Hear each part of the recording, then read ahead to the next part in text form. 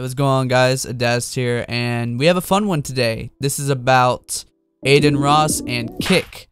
Um, I've just been seeing this floating around, and I am definitely, with 100% certainty, intrigued. So let's talk about it. So if you don't know what Kick is, it's pretty much just a copycat version of Twitch. Um, I'm pretty sure funded by like stake.stakes.com or whatever, a gambling site. It's a gambling site and they kind of run the site and uh, it's pretty much just Twitch with uh, a lot more loose rules, I guess. Because we all know Twitch, they're very censored because of advertisers, but they're also they're not fair towards their you know towards their streamers. So I think Kick is trying to appeal to the people who like this this more less censored version of the internet and they like going to that and still like to make a profit. That's what Kick does. I'm not saying this is a good thing. I'm not saying this is a bad thing. I'm just saying what it is and, you know, what it isn't, I guess. So the big, uh, the big drama, I guess you could say, is Adin Ross. Now, we all know Adin Ross. This dude, I'm convinced he's just a really good troll, but a part of me thinks he's not trolling half the time. This dude is like, I, I can't tell if he's just so easy to follow big trends or he's genuinely just uh, uh, like trolling all of us very severely because you look at some of the shit he's done he's like bro what the fuck is wrong with you? Like that's that's how bad it is. Like i don't understand it.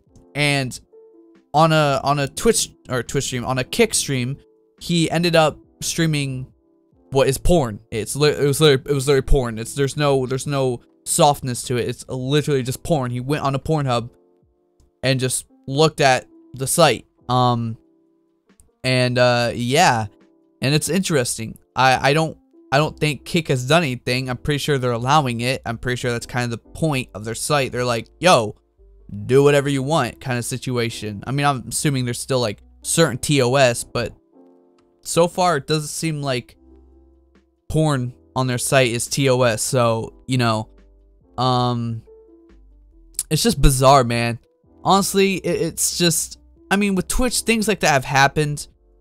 Um, people have straight up just had sex on stream. Uh, someone's even played like a like a pre-recorded like video of porn, pretty much. So you know, it's it's gonna happen. But like this, this was intentionally trying to show off that Kick is just fine with all of it. That's pretty much what it was showing off. So yeah, that's that's the little little story with that. But there's more to it. Surprise, surprise. There's always more to drama. Let's be real, there always is. Um, the guy who originally like exposed this situation, I won't say he was the first to it, but he probably was. I don't know. He ended up showing a clip of it. He censored it and everything. Um, just for like Twitter, which I don't know why he did. Let's be real, it's Twitter, so who cares? Um, but he ended up showing the clip. And Adin respond to him in DMs saying, keep yourself safe. Uh, and it was like vertically, so you could read like the, it was like a, an abbreviation kind of situation. Uh, I don't know the actual word for it, but uh, yeah, it was saying KYS. Um, instead of keep yourself safe, obviously KYS means something else. Uh, you can look that up on your free time. I'm not gonna tell you. Uh, it, it's bad though. It, it has to deal with hurting yourself, I guess, to put it in a nice way. So, yeah, uh, Adin was kind of being like, hey, fuck you. Don't do that shit. That's messed up. Even though he's the one who exposed pornography to, like, a bunch of kids. And let's not put the rag over our face and act like nothing's happened. We all know kids nowadays have watched porn at a very early age. That's just technology. It's not about we're worried about exposing these kids to porn. It's that these are adults doing it. That no one's concerned that with the fact that these kids are seeing this stuff because we all know half these kids have definitely been on Pornhub.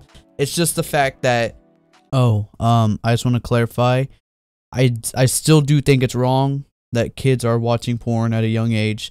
I'm not saying it's not important. I'm just saying in this certain situation, it's like most people are aware that these kids have witnessed stuff like that pretty young at this point. So I'm just saying, you know, it, it's a bad thing that they're seeing this, but we all know they have seen it in the past, most likely. but we're just more worried about the fact that adults are kind of just allowing this to happen. That's all I'm saying. And aware that these are kids. You know, these adults are deliberately doing it, understanding that their audience are children. So, I, I think that's the big issue here. Um, so it's just it's a bizarre situation. Uh, and yeah, that's that's really all I had to talk about. Um, anyways, I'll see you guys later. Oh, also, I hope you guys like the thumbnail. I worked hard on this one.